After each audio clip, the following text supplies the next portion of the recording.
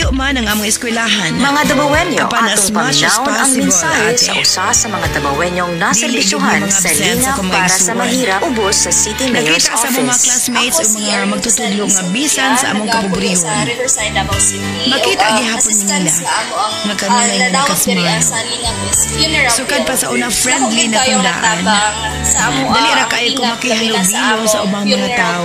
Labi na gyud karon nga ang Sir, padako sa ni sa anak ginikanan kung sa among unsa-usab Dili na may maglisod biyahe o maagiman na pud. Ila sa Inyong napaminawan ang mensahe sa usa sa mga natabangan nga sa lingap maayong tao. Kay matod pa ni Papa. Pobre man mi. Apan, dato kami sa mga higala. Ati R. Opisyal nga impormasyon gikan sa Davao City Government. Mabati din sa 87.5 Davao City Disaster Radio.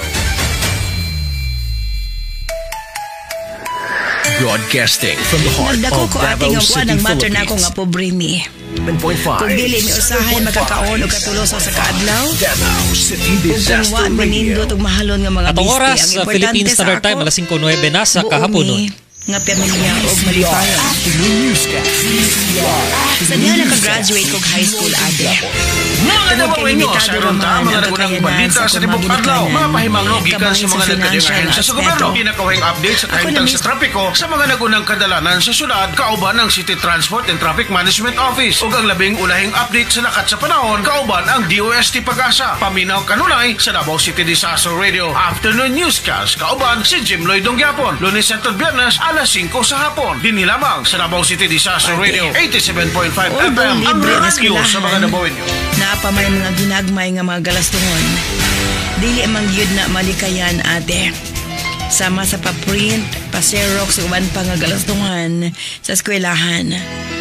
Ako pa nga pangadlaw-adlaw nga balon o pamasahe.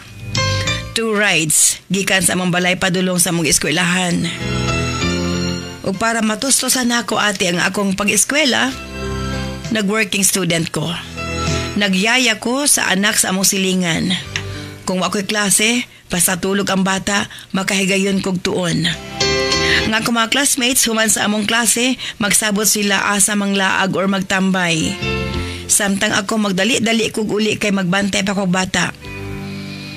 Adtong pandemic ati naglisod gid ko kay wa man ko'y Android cellphone. Wa pod mi internet. May nalanggani nga nakahulam ko sa ko'y agaw.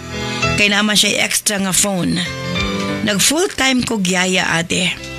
Para na ako'y kwarta pang palit og load netong pandemic. Abi mo, gipagkaingon ko di ko makasurvive. Kay pareho mang way trabaho si mama ug papa. Wa sila income. Ang among gisaligan, maora gyud ang ayuda sa gobyerno. Ate Arlene.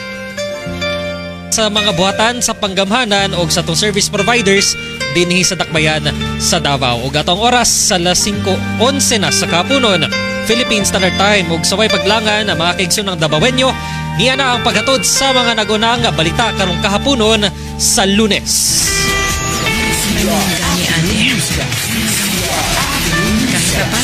Kahit Uluhang uh, tudling sa tuwang mga balita, konsweldo. DSWD-11, uh, gipanghimaka Hapan kang aligasyon nga pagbahin-bahin sa ayuda alang sa AIX.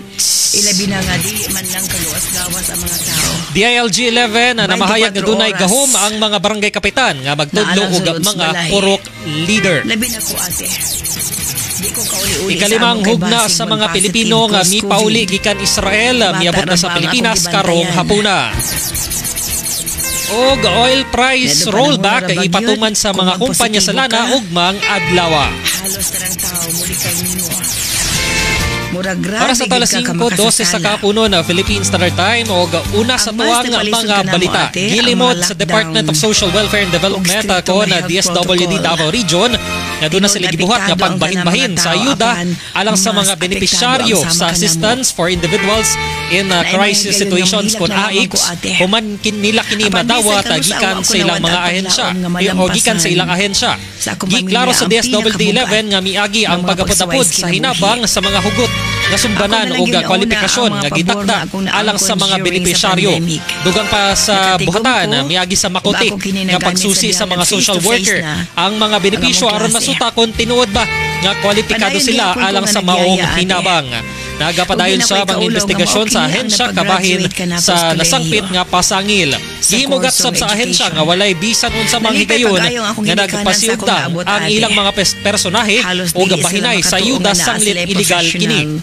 Nanawagan sa bang DSWD 11 Proud nga to kay sa publiko nga itaho kanila ang mga musulay o pangayo og bahin sa ayuda atol sa AX payout pinagi sa DSWD AX hotline number nga Miabot ang line challenge sa akong 0969-450-4722 kinabuhi. o ga mamahimong ipadala ang mga ebidensya nini sa ilang email address dalan sa nga pagpanerbisyo. dswd11 concerns Sa among at komunidad. gmail.com. Wala sa plano ang tanan ate.